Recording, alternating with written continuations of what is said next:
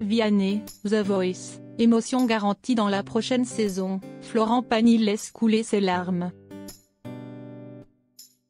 Ne manquez le début de la nouvelle saison du concours de chant dès ce samedi 12 février. Pour l'occasion, Vianney a fait quelques révélations sur les candidats et avoue que cela va être fort en émotion. Objeco vous dévoile ses propos. Ce samedi 12 février 2022, les téléspectateurs auront le bonheur de retrouver la saison 11 du programme The Voice. Pour marquer la reprise de cette nouvelle édition, Vianney a été interviewé par les journalistes de Télé 7 jours. Le jeune homme qui fait partie du clan des jurés a fait quelques révélations très touchantes au sujet de son collègue et ami Florent Pagny. Vianney, The Voice, une édition avec beaucoup de larmes. On peut dire que Vianney a une vie bien remplie depuis quelque temps et encore plus depuis l'arrivée de son premier enfant, Edgar. Alors, le jeune homme est le plus heureux du monde. Il avait déjà fait ses preuves en tant que beau papa avec le fils de sa compagne. Maintenant, il profite d'une jolie famille recomposée.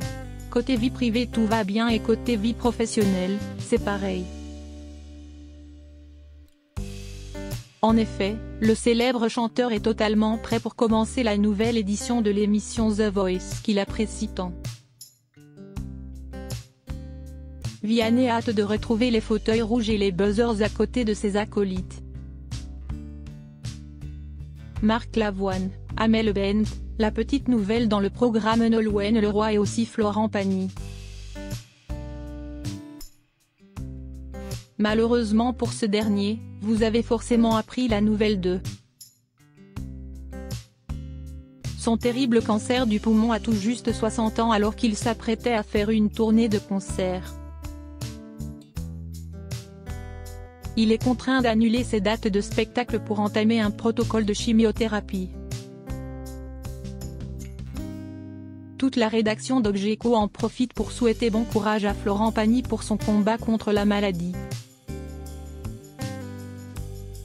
Par chance, sa moitié est là pour le soutenir. Vianney, au cœur d'une équipe soudée.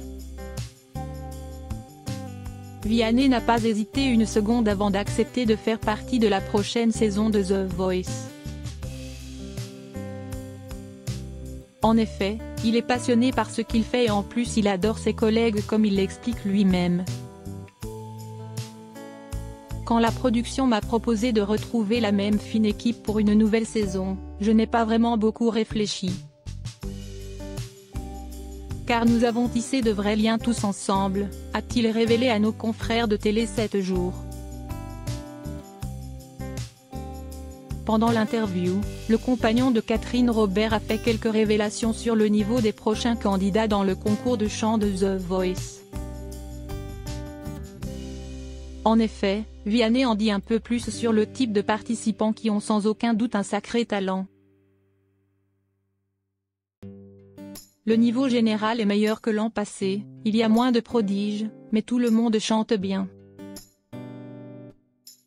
C'est moins inégal, a-t-il ajouté très optimiste.